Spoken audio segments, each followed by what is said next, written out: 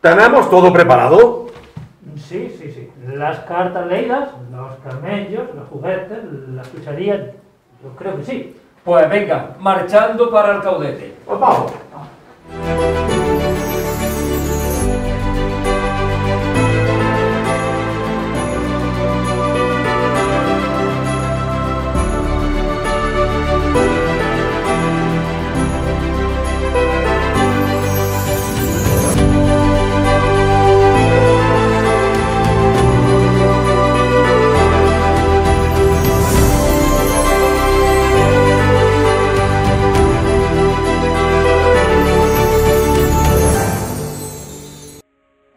Queridos niños y niñas, acabamos de llegar desde Oriente, desde nuestro reino de la ilusión, al municipio de Alcaudete.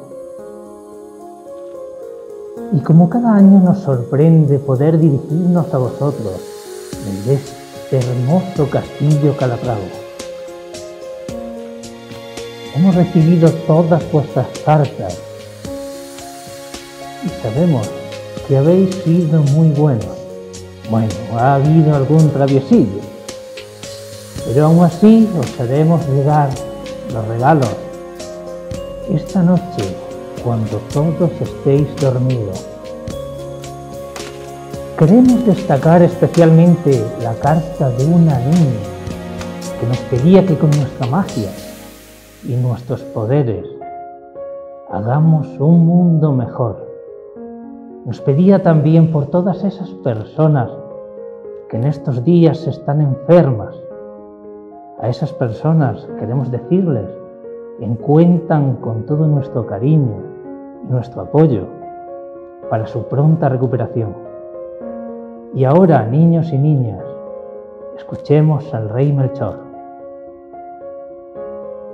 Queridas familias, hace unos días, cuando guiados por la estrella llegamos a Belén para adorar al niño Jesús, sus padres, José y María, nos indicaban cuánto le agradaría al niño Jesús que seamos sensibles con los más necesitados, que seamos capaces de entender a los otros para así poder ayudarles a sentirse mejor. No olvidéis, niños y niñas, de llenar de amor el corazón de los que nos rodean, de ayudar a los que precisan nuestra ayuda, de respetar a los que son diferentes, de escuchar a las personas mayores, que tan sabias son y que tanta sabiduría tienen.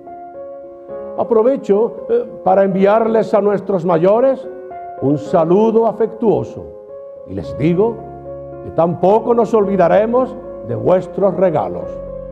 Y ahora, a ver qué nos cuenta el rey Baltasar. Os digo un secreto. Es el más bromista de los tres reyes magos.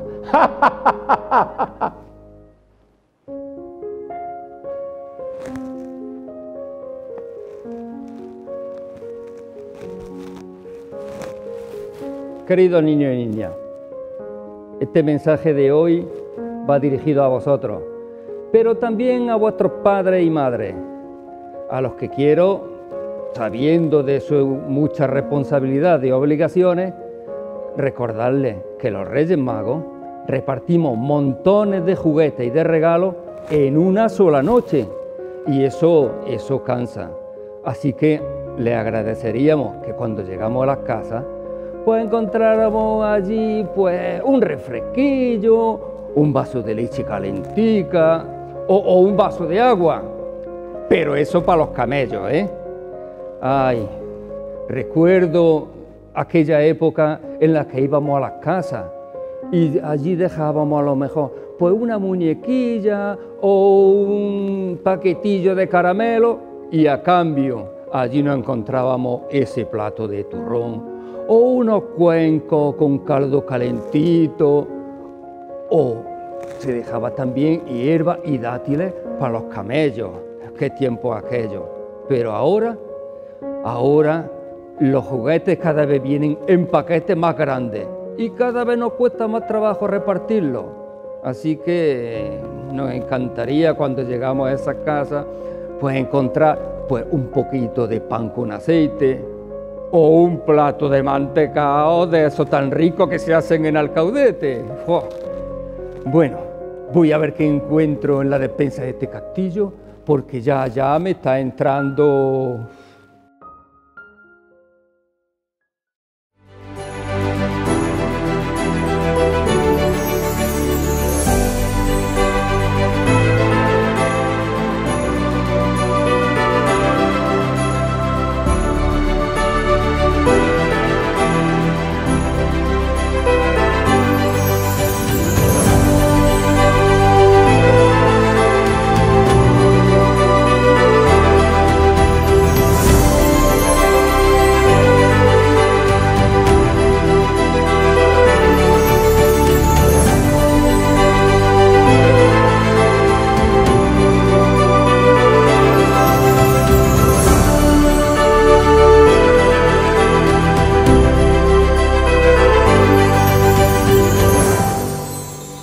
Queridos niños y niñas de Alcaudete, este año 2020 ha sido especialmente difícil para todos.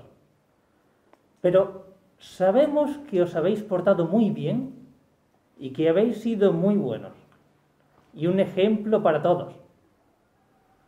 Por eso hoy, día 5 de enero, volveremos con vosotros con todo nuestro cariño, con toda nuestra magia e ilusión, porque no hay nada más importante que la felicidad de un niño.